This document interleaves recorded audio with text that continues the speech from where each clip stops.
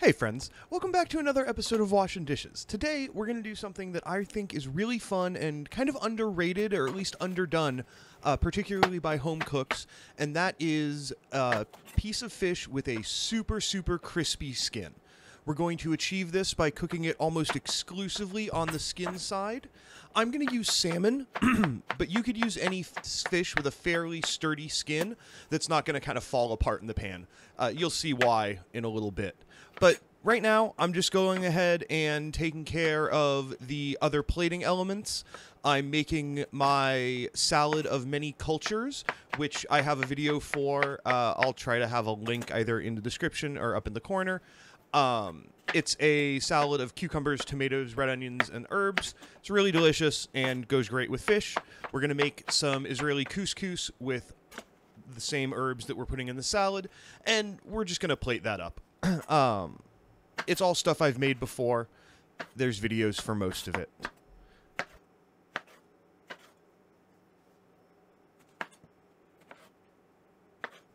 with the cucumbers nice and diced up in you know about three, half to three quarter inch pieces i'm going to go ahead and do the same to the tomatoes cutting out the gooey snotty seedy part because it's the part of the tomato i don't like and i'm cooking this for myself. If you like that texture leave it in. Uh, cook food that you want to eat. Anyway so we're just i'm just cutting that out and then di- slicing and dicing them again about the same size as the cucumbers. It's you know doesn't have to be precise. This is often a very rustic dish and i'm not trying super hard here. So it's just dinner. Don't you don't you don't, you don't need to make a production out of it. You totally can but you don't need to and this isn't the main event for the video anyway.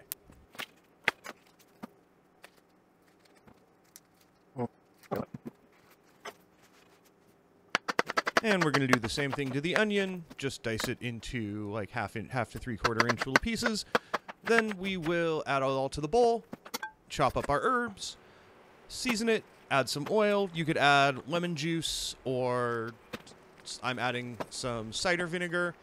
Toss it all together and just leave that in the fridge for at least a good 20 to 30 minutes before you really dig into it.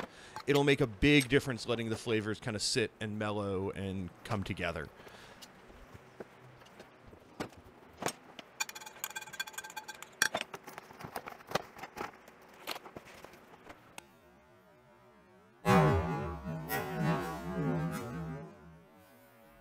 The couscous is also very simple. It's packaged couscous that I'm just cooking according to the package directions. Uh, it's like three quarters of a cup of couscous and a little over a cup and a half of water.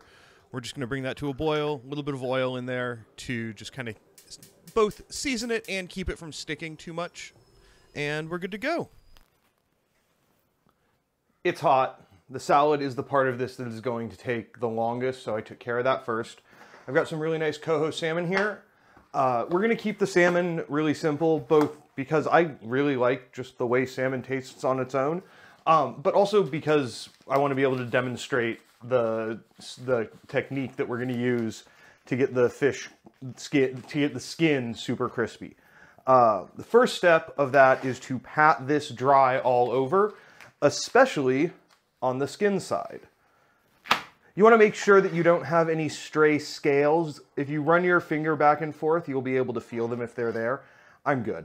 Um, I was actually all set to go to the fish market today, and the grocery store ended up having surprisingly nice salmon, so I went with that. Um, so yeah, we're just gonna pat it dry, and then I'm gonna salt the skin side pretty liberally but we're not going to pepper the skin side. Give it a little flip.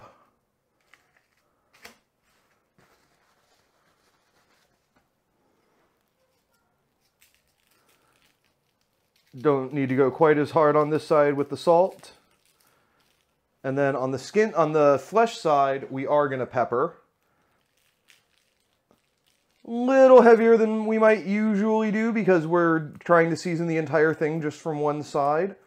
But that's good. Okay, so I'm gonna let this sit at room temperature for a good 10, 15 minutes just to kind of come up to temp and give the salt a chance to kind of draw the moisture out.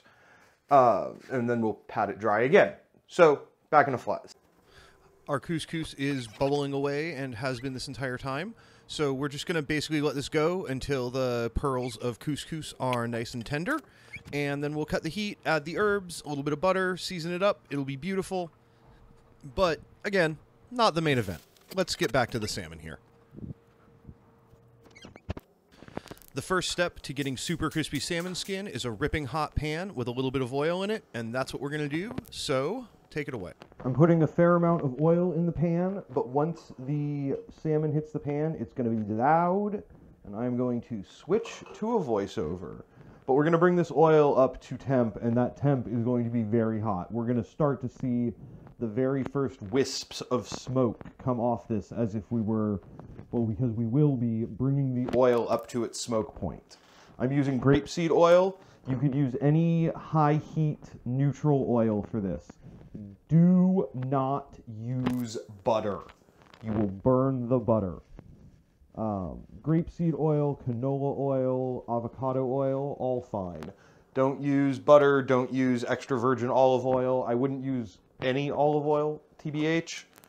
All right, we should be at temp, so let's go for it. This in skin side down. And I'm going to level with you right now. This was the second try. I didn't have the pan hot enough on the first one, and it stuck. So, yeah, make sure your pan is hot enough. But we're going to put this in, and we're going to let this go on just the skin side pretty much the entire time. If you look at the side of the salmon here, you can see the cooked, the color change from where it's getting cooked creeping on up. And we're going to let this go on the skin side until it is almost all the way at the top, which it just about is here. Our couscous is ready, so we're going to stir that with a fork while the salmon finishes its last couple bits.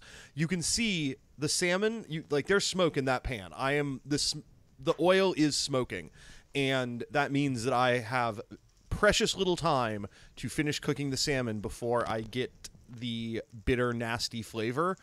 So I'm really cutting it close here. I- Yeah, you can see I'm I'm moving the salmon off heat for a minute while I finish this up. So yeah, I'm gonna finish the couscous. We'll finish the salmon. Hang on one sec, and we'll show you the flip. Now I've got the salmon back on the heat for the last little teensy tiny bit of cooking.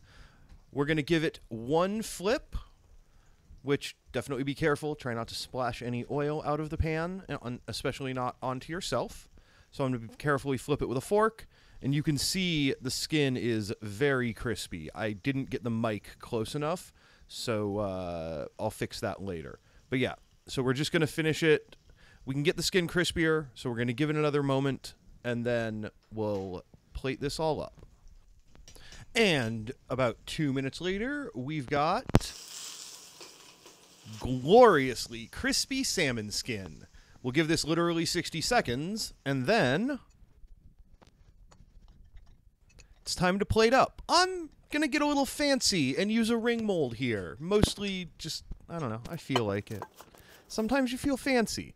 I I should have thought ahead about feeling fancy and done a better job with the knife cuts on the uh, salad, but you know, whatever. So we're just gonna pile this in the middle, spread the salad around it, lay the salmon on top, kind of drizzle it with some sauce, and I don't know. You tell me. I think it looks pretty tasty.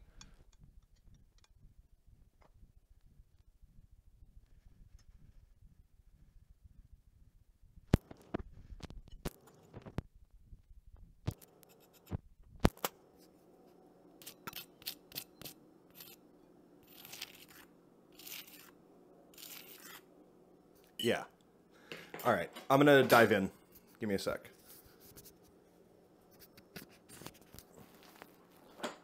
All right. So let's get some of that crispy skin. Oh, it just shreds apart. Yes, beautiful. God, this looks so good. Mmm. Yes, super crispy, super tasty. I love it. Yeah. The rest of it is unsurprisingly quite good too, but I've made all that stuff before for you. Anyway, thanks so much for watching, as always. I hope you learned something. I hope you'll try out this technique. I hope you'll drop me a like and a subscribe. That would be cool. Um, because, you know, I've been doing this for a little bit. If you like what you see, check out some other videos. Catch me on social media, Instagram, threads at Wash in the Wind with no E, uh, Twitter and Twitch, or X, Twitter and Twitch, uh, the Wind the way it's spelled down below. Um, recipes for the other stuff that I've made are either in cards or in the description. And yeah, check these out in case you like something there. Have a great rest of your time zone. Thanks for watching. Don't trip like I just did.